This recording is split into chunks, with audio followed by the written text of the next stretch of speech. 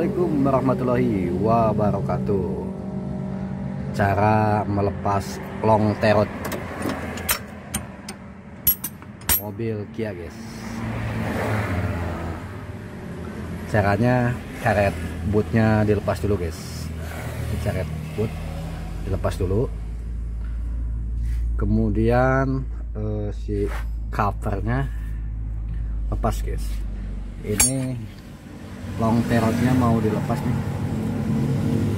Ini udah pahatnya udah dilepas. Yang menghalanginya tutup cover ini guys. Oke, jadi tutup covernya udah saya lepas. Oke. lepas. Kemudian ini eh, menggunakan pipa guys Eh, dari sini ya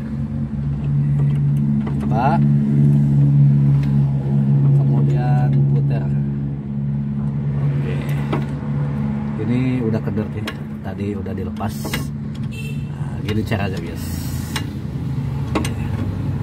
sesudah terlepas kita membuka bagian kerotnya ini bautnya udah dilepas guys. Ini karena dilepas bengkok akibat benturan si long terotnya bengkok kita akan diperbaikin aja. Di press press guys. Nah, kita lepas. Eh, long terot sama terotnya udah terlepas Nah, tinggal diputerin bagian long terotnya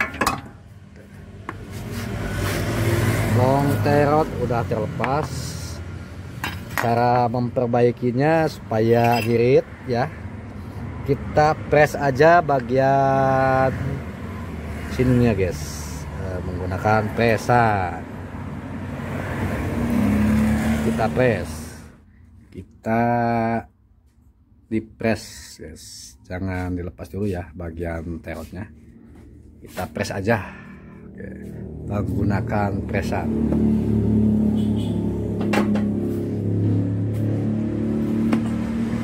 atasnya dikasih balok guys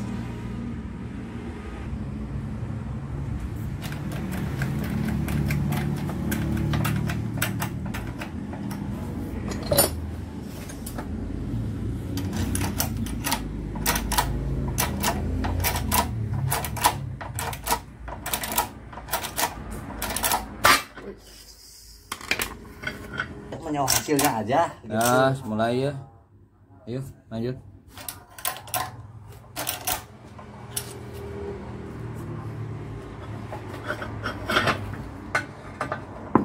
Agak lempeng guys masih kurang sedikit lagi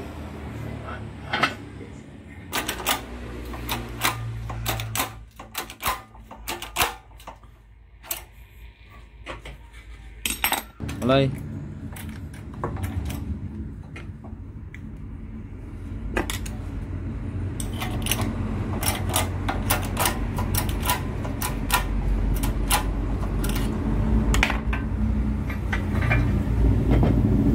Oke, mantep guys.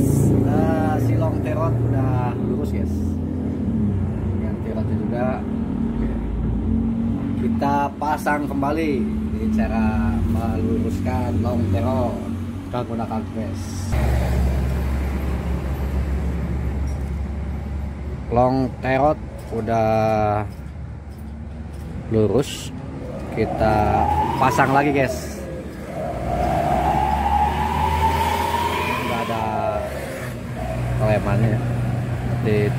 Kelemannya kita lepas dulu terotnya mau diganti karet abunya guys. Setirnya. Nah ini udah rusak guys. Kita mau ganti yang baru aja supaya mantap. Oke. Oh. Karet boot udah terpasang, guys. Nah, ini long terotnya udah lurus. Hasil di press guys. Selanjutnya kita pemasangan ban guys. Kita spuring lagi guys.